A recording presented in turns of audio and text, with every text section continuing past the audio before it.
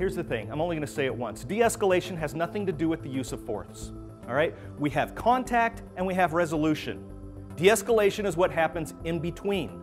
De-escalation is simply bringing somebody who's operating up here down to here. Our job is to bring them down so they can make that good choice. Doesn't matter if we were learning how to splint a sprained ankle or how to treat a sucking chest wound. The very last instruction was reassure, reassure, reassure. People need to know there's hope. Here's the thing, our tone says so much. It doesn't matter the words you use. What we have to do when we're thinking about our tone, we need to put our mind where our mouth is. That is tough. Being at the proper distance during a conversation can carry a lot of weight with it as well. That's not always possible for safety reasons. In those situations, our tone has to do the work for us of proximity. Physiological barriers. Now, fight or flight, right? We've all seen it. Their heart's beating, they're breathing hard. What's their, their vision doing? Their vision's closing in. Their, their auditory senses shutting down. Environmental obstacles. Now, everybody's dealt with this. You show up to a domestic or whatever, tensions are already high, and what's going on?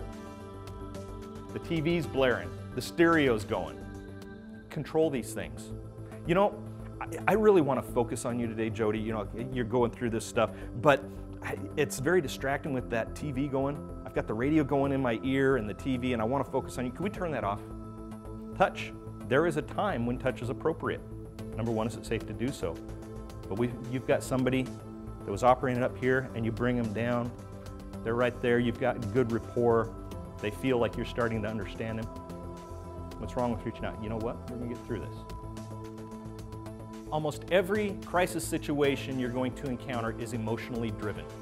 We also know that people that can make clear statements about what they're feeling are in a better place to control their feelings. It's the difference between, I hate you, and um, you know, Officer Stoaks, when you barge in here into my house, get into my personal dealings, interrupt my life, it really frustrates me and I don't approve.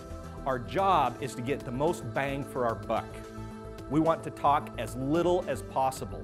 If we're talking as much as the subject's talking, we're not doing it right.